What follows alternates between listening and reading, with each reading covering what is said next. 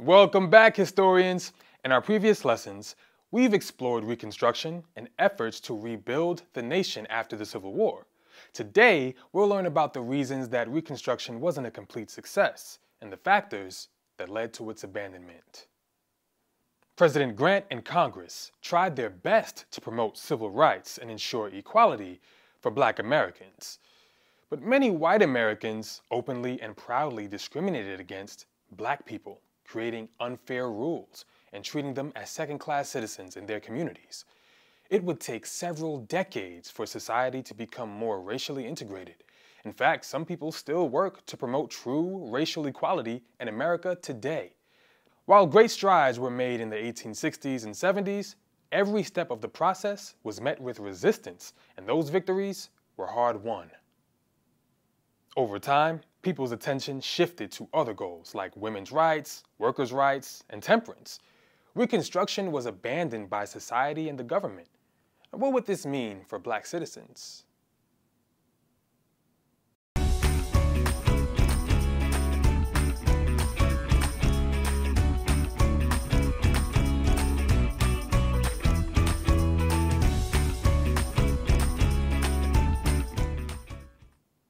Today, we'll wrap up our Reconstruction unit by focusing on these learning objectives. Describe the factors that led to the end of the Reconstruction era. Describe Redeemer governments and the New South.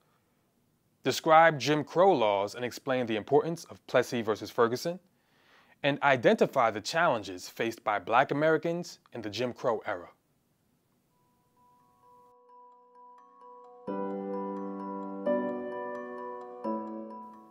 Now, as the Reconstruction era continued, a variety of factors began to undermine the progress that had been made.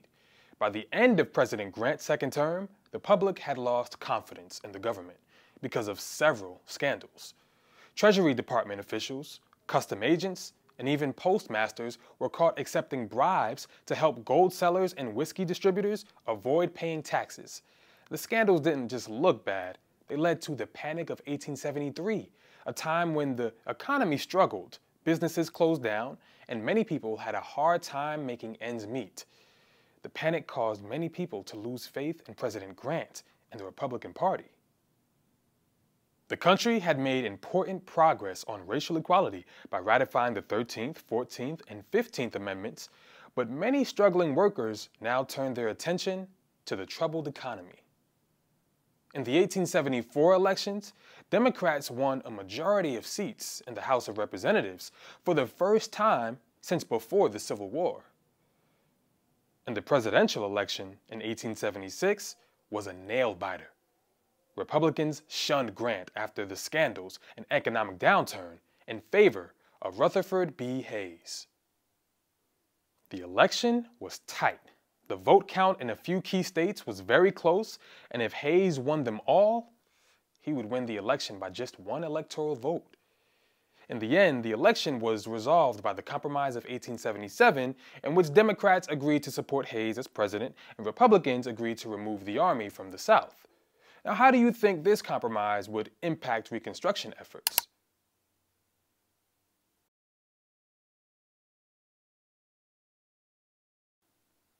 The compromise showed the Republican Party was shifting its focus, becoming less committed to civil rights and equality for black Americans, marking the end of Reconstruction.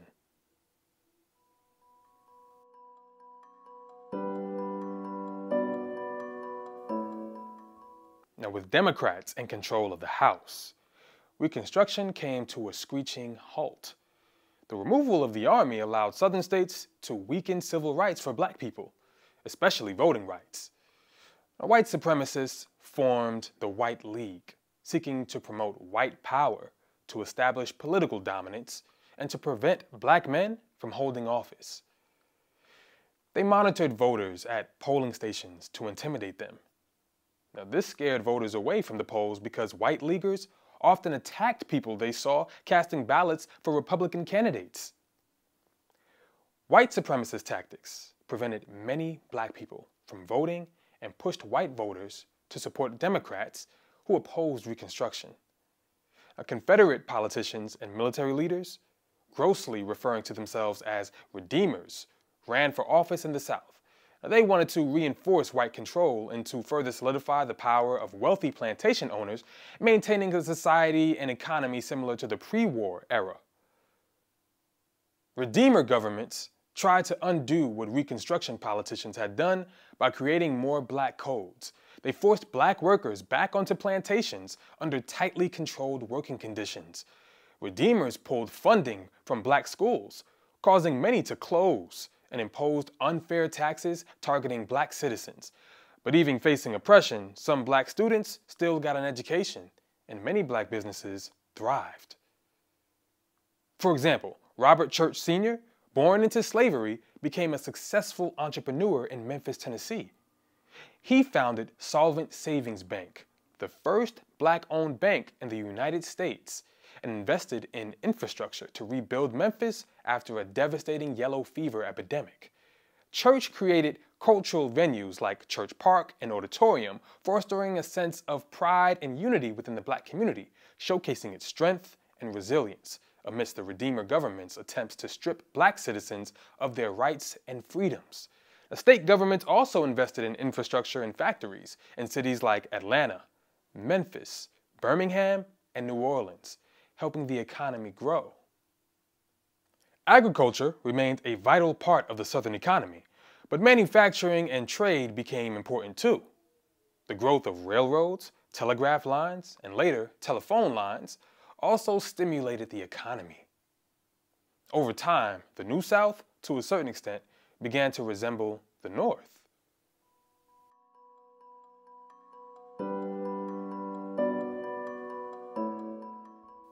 White supremacy and laws that made it hard for black people to vote, such as literacy tests, poll taxes, and grandfather clauses, became especially widespread by the 1890s. Southern governments legally required racial segregation or separation in public places, beginning a period called the Jim Crow era. During this time, it was common for a black person to have to wait in a separate room at a doctor's office, drink from a separate water fountain, or wait outside behind a restaurant for food because the owner wouldn't allow them to sit inside and eat with white patrons. In 1883, the Supreme Court ruled that the Civil Rights Act of 1875 was unconstitutional, saying that the government could only control states, not individuals. Now, this allowed segregation to continue. The most infamous Supreme Court decision that reinforced segregation was Plessy versus Ferguson in 1896. Homer Plessy, a mixed-race man considered black by law, was arrested for sitting in a train car reserved for white passengers in doing so, he had broken a Louisiana law requiring racial segregation on trains.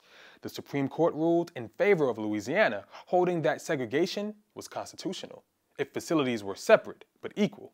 So in theory, if a school for white students existed, a school for black students should too, and they should be of equal quality. Now take a moment to pause the video and look at these two classrooms. Do these schools seem equal? Which would you have wanted to attend?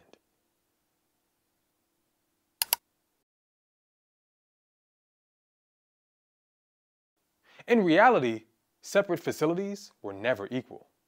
Across both the North and the South, state governments underfunded black schools. This resulted in overcrowded classrooms with students of a variety of ages, outdated materials, and poorly maintained facilities.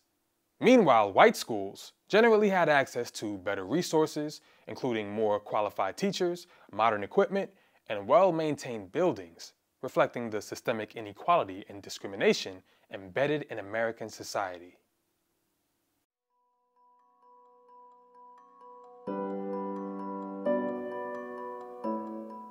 In the Jim Crow era, most formerly enslaved people returned to working on farms, owned by wealthy planters through tenant farming and sharecropping. Under contract, farmers rented land, grew crops, and gave a portion of their harvest to the landowner. Typically, a white landowner would take the largest share of the crops, leaving only a small amount for black farmers. Uh, this sometimes indebted sharecroppers to the landowner, making it difficult to get out of their contract. What similarities do you notice between sharecropping and the slave system? Can this new economic system be considered true freedom?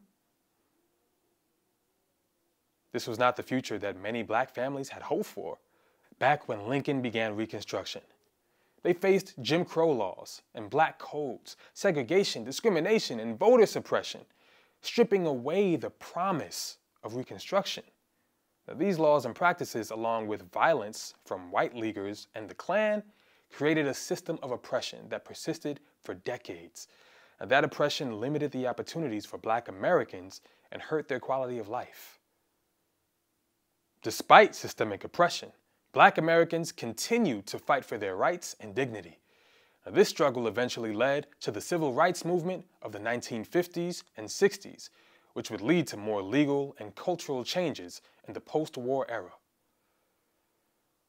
We'll learn about this later in our course, but for now, let's review.